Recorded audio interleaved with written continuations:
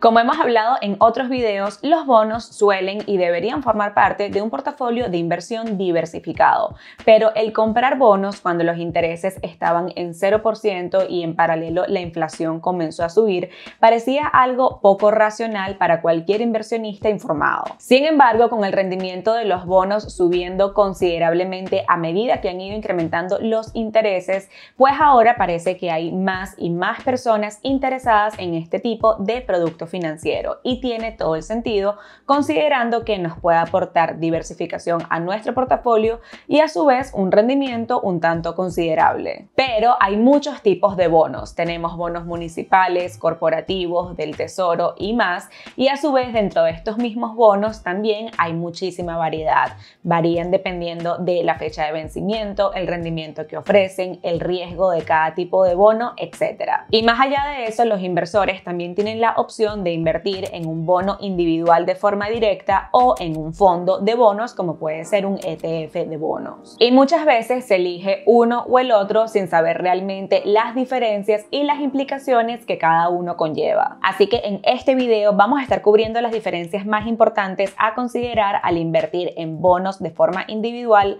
o en ETFs de bonos para que así tú mismo o tú misma puedas definir cuál es la mejor alternativa para ti.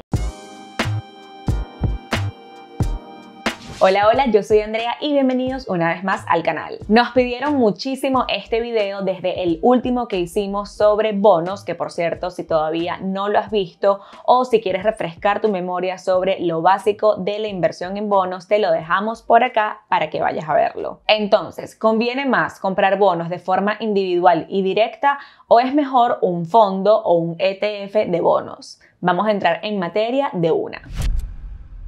Al invertir en bonos de forma individual, el inversor debe tener un buen conocimiento sobre este producto financiero, ya que debe determinar exactamente qué bono va a comprar, cómo va a diversificar su portafolio de bonos, qué estrategia va a implementar y por cuánto tiempo. Es decir, vas a comprar bonos del tesoro a corto, mediano o largo plazo, o quizás una combinación de todos. ¿Por qué elegirías un bono con un vencimiento a 10 años en vez de uno a un año? ¿Vas a elegir deuda gubernamental o corporativa? Si es gubernamental, ¿de qué país? ¿Estás al tanto que cada país tiene un riesgo de impago distinto? ¿Sabes cómo funciona la calificación crediticia y cuál es la calificación crediticia de cada bono que quieres comprar? Son muchas las cosas que tenemos que tener en cuenta al elegir bonos de forma individual, así tal cual como al comprar acciones individuales. Y por ende, el inversor tiene que saber cómo construir un portafolio de bonos eficiente y que tenga sentido para su perfil como inversor. En contraste, al invertir en un ETF de bonos simplemente sabiendo cuál es el enfoque de inversión del mismo y si es un fondo de inversión activo o pasivo, podemos tener una idea de la estrategia y obtener diversificación inmediata en vez de estar desarrollando nosotros mismos una estrategia propia. Por lo que el ETF hace esta parte bastante más sencilla. Si sabemos que queremos invertir tanto en bonos gubernamentales como en bonos corporativos de forma diversificada, eligiendo tan solo uno o dos ETFs podemos obtener este resultado. El manejo dentro del fondo se hace de forma automática y no tenemos que hacer mucho más de nuestra parte más allá de ir comprando estos ETFs con el tiempo. Otra consideración a tener en cuenta con los bonos individuales es que los mismos se compran y se venden en la página oficial del emisor como puede ser treasurydirect.gov, así como también a través de brokers siempre y cuando los mismos ofrezcan este servicio. A diferencia de las acciones, no existe un exchange oficial, por así decirlo, donde uno pueda ir y comprar comprar y vender todos los bonos que existen en el mercado, sino que este es un activo que cotiza over the counter y está limitado de cierta manera a la oferta que tenga nuestro broker del mismo. Consecuentemente, es un mercado menos líquido y también menos transparente que el de las acciones y el mismo está sujeto a la oferta y demanda del bono en particular que querramos comprar o vender. Y a su vez, al ser un mercado secundario, el bid-ask spread suele ser mucho más amplio, lo que al final le cuesta dinero a los inversores. Esto Esto no ocurre cuando se compra un bono individual nuevo, ya que estamos pagando todo el valor nominal y cuando el mismo venza vamos a obtener el 100% de nuestro capital de regreso más los intereses generados, pero sí ocurre para bonos ya existentes en el mercado secundario. Si quieres vender ese bono ya existente sería a través del mercado secundario o si quieres comprar un bono que ya existía, pues aplicaría lo mismo y ese bid-ask spread es algo que tenemos que considerar. A diferencia, los ETFs de bonos cotizan en la bolsa tal cual como cualquier otro ETF o como las acciones, dándonos mucha mayor transparencia y a su vez otorgándonos mayor liquidez, por lo que podemos entrar y salir de los mismos cuando queramos y esto hace que el spread entre el bid y el ask sea muchísimo más bajo. Pasemos ahora a los intereses. En el caso de los bonos individuales, los intereses que los mismos pagan suelen ser cada seis meses. En algunos casos, como por ejemplo los bonos que vencen a tres meses, sería el pago a los tres meses, pero en líneas generales suelen hacer pagos semestrales. En el caso de los ETFs de bonos, los mismos suelen hacer distribuciones mensuales, ya que tienen tantos bonos dentro de los mismos que pueden organizarlos de esta manera, aunque los pagos varían un tanto mes a mes. Algo importante y otra diferencia a considerar es que por lo general no siempre, pero por lo general, en el caso de los bonos individuales no se pueden reinvertir los intereses que nos están pagando para generar más intereses, o por lo menos no de forma automática. Mientras que en los ETFs de bonos, siempre y cuando nuestro broker tenga el servicio de reinversión automatizada de dividendos o al menos tenga habilitado la compra de acciones fraccionadas, podemos reinvertir estos intereses o estos dividendos todos los meses creando ese efecto compuesto con los años. También algo muy importante es que los montos mínimos de inversión varían. En el caso de los bonos individuales, por lo general la inversión mínima es de mil dólares y va en incrementos de mil en mil. En el caso de un ETF de bonos, podemos invertir desde apenas un dólar siempre y cuando nuestro broker ofrezca el servicio de compras fraccionadas. Y si no, pues la compra mínima por lo general sería una acción que va a depender de cuál sea el costo del ETF que querramos comprar.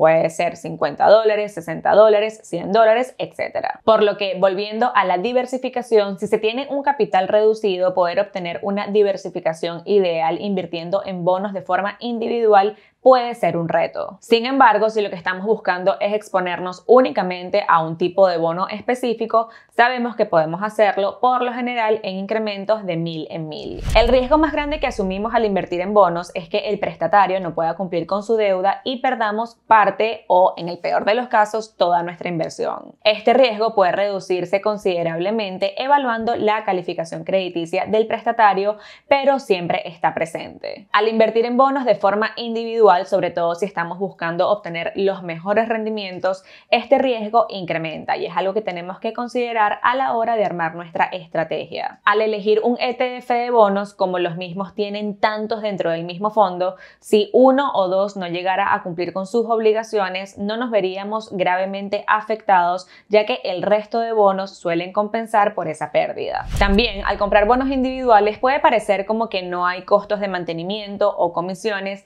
pero lo cierto es que la mayoría de las veces hay ciertas comisiones ocultas que van incluidas o en el precio del bono o en el rendimiento del mismo. Ya queda del lado del inversor o la inversora determinar si el precio que estamos viendo o el rendimiento que estamos viendo reflejado pues se alinea a lo que estamos buscando y lo que necesitamos. En el caso de los ETFs de bonos, los mismos suelen tener costos administrativos como es sabido y el costo puede ir variando de fondo a fondo. Lo importante aquí es elegir un ETF de bajo costo, ya que estos gastos administrativos con los años pueden sumar muchísimo dinero. Para nosotros, cualquier ETF que esté por debajo del 0.1% es ideal. Otra diferencia entre ambos productos, que quizás a este punto es bastante obvia, es la accesibilidad. Está claro que después de todo lo que hemos hablado hasta ahora, los ETFs de bonos son una alternativa mucho más accesible para la grandísima mayoría de personas. En primer lugar, cualquier persona con acceso a una plataforma que permita invertir en la bolsa de valores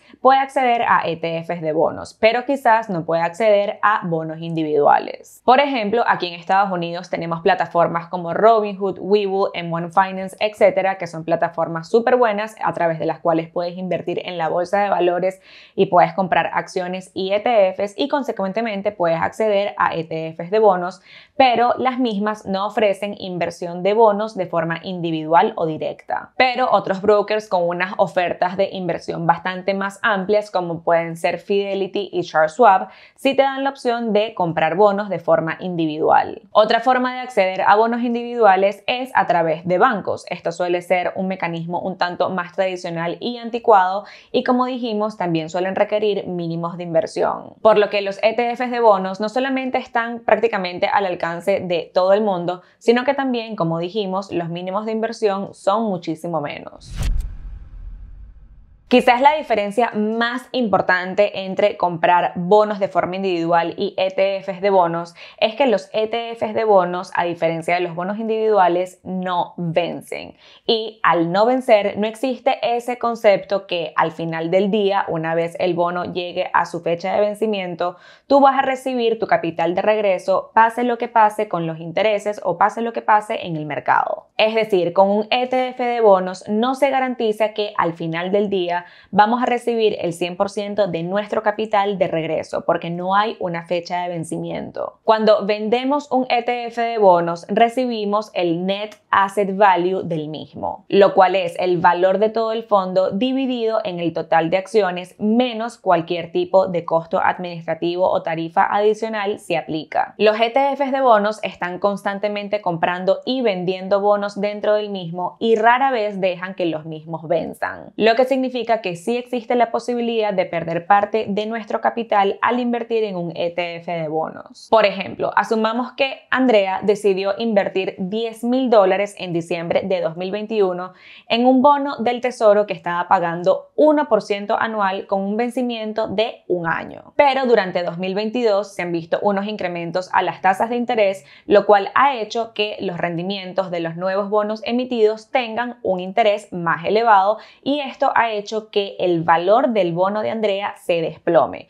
¿Por qué es esto? Porque nadie en el mercado secundario le va a querer comprar un bono Andrea que está dando un 1% por el mismo precio de otro bono nuevo emitido a un 4.5%. Pero ¿qué pasa? Si Andrea no hace absolutamente nada y simplemente espera que ese bono venza en diciembre de 2022, va a recibir sus 10 mil dólares de regreso más los 100 dólares que generó en intereses. Pero si Carlos, por otro lado, también decidió invertir en bonos en diciembre de 2022, pero a diferencia de Andrea optó por un ETF como BND, implicaría que sus 10 mil dólares hoy en día tendrían un valor de aproximadamente 8.200 dólares porque el valor de todos esos bonos dentro del fondo han ido bajando en precio o en valor por el mismo motivo que el bono de Andrea, porque los intereses han venido subiendo durante 2022. ¿Qué ocurre? Que a diferencia de Andrea, que simplemente podía esperar a diciembre de 2022 que ese bono venciera para recibir el 100% de su capital,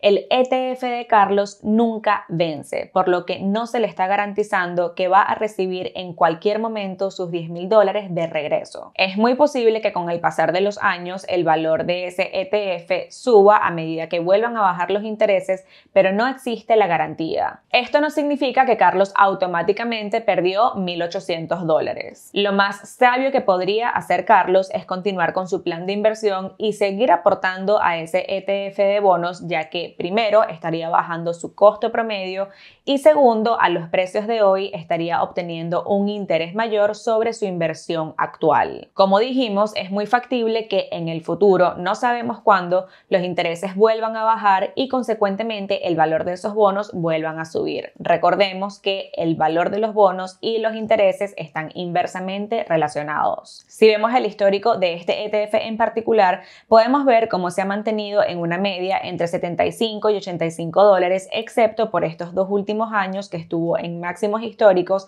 gracias a que los intereses estuvieron tanto tiempo en 0% y ahora casi en mínimos históricos debido a que los intereses han ido subiendo agresivamente y porque hay demasiada incertidumbre en el mercado. A esto no le estamos considerando los intereses que se le han ido pagando a Carlos todos los meses por invertir en este ETF, lo cual claramente tendrían que ser considerados e incluidos en los retornos totales. Si bien todas las diferencias son muy relevantes, al menos para nosotros, quizás esta sea la más importante de todas, ya que está claro que no es lo mismo para nada invertir en un ETF de bonos cuando los intereses están altos versus cuando están bajos, ya que el riesgo de capital que se asume pues incrementa o disminuye considerablemente. A diferencia al comprar un bono individual siempre y cuando el mismo sea considerado de muy bajo riesgo, como por ejemplo un bono del tesoro, se nos está garantizando que al final del mismo, cuando venza, se nos va a devolver el 100% de nuestro capital. Entonces, podemos concluir que el invertir en bonos individuales y en ETFs de bonos tienen tantas sus ventajas como sus desventajas. Por la parte de las ventajas, al invertir en bonos individuales podemos armar nuestra propia estrategia,